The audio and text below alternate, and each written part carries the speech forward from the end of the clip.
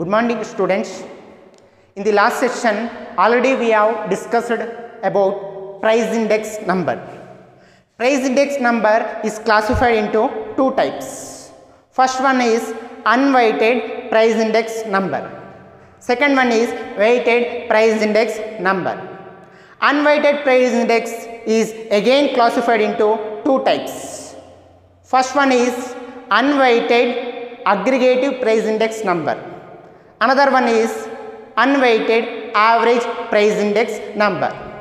So next in this session we should know about the first topic unweighted aggregative price index number.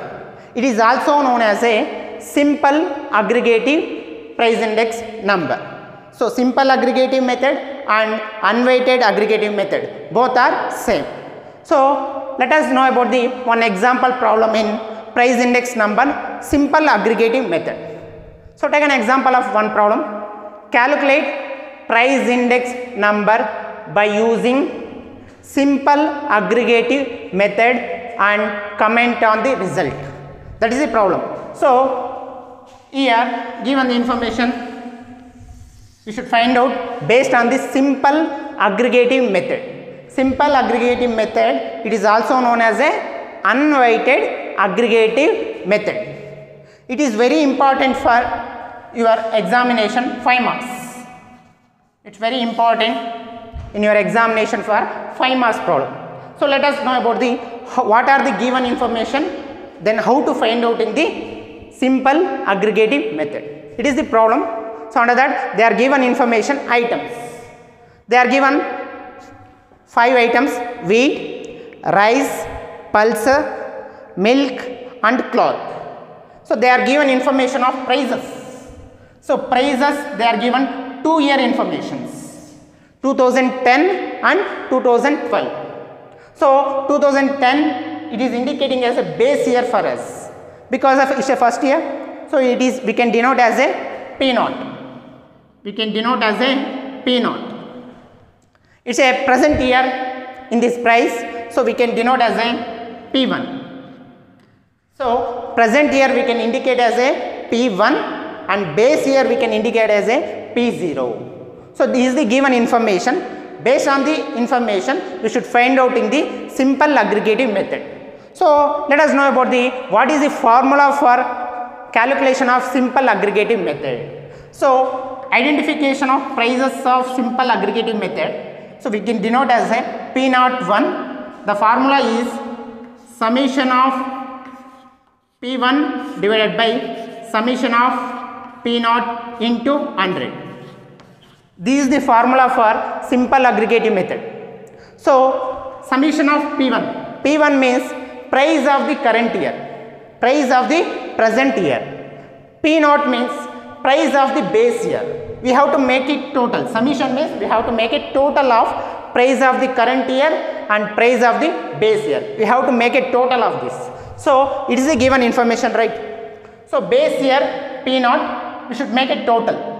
We should make a total 127. If you make a total of 2010 prices, so it will come 127. It is called as a sigma P P naught. It is a sigma P naught. Next we should make a total on 2012 prices 155. If you make a total, it will come 155. It is a total. The base year prices summation is 127. The current year total is prices is 155. Based on this information, we can apply the formula. So, how to apply the P naught 1 is equal to summation of P1 total how much 155 divided by summation of P naught. P naught how much? 127 into 100 so if you are applying the formula means how much will got? We got answer 122.5 it is the final answer. P naught 1 means prices of base year is related to the current year. Prices of base year is related to the current year 120 After the find out in the simple aggregative method, so there are already one more point we should find out, comment on the result. We should give a conclusion for this result. How to give a conclusion?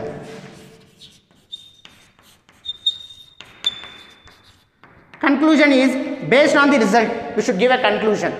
So standard prices is 100.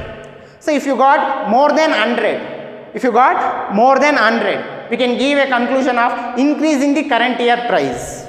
If you got answer less than 100, we can give a conclusion decreasing the current year price. So here we got 122.5. It is more than 100. It is more than 100. We can give a conclusion for this problem. Current year price increases increases by how much? 22.5 22.5 percent is increases. 22.5 is increases. So its a base is 100 if you got more than 100 how much of percent is increases? 22.5 percent are increases if you sometime take an example. In the current year price we can get an answer 88 means. If you got 8 answer is 88 it's a less than 100 it's a less than 100 so we have to reduce. 100 minus 88 how, how much we will get? 12 so we can give a conclusion for that. Current year price decreased by 12 percent. Decreased by 12 percent. That is the conclusion format so 100 is a base for standardized price. If you got more than 100 we can give a conclusion. So current year price increased. If you got less than 100 we can give a conclusion. So decreased. So that is the way of conclusion or comment. Okay students i think all are understood this topic. It's related to the simple aggregative method or unweighted price index related method okay thank you students. Please like share and comment. Thank you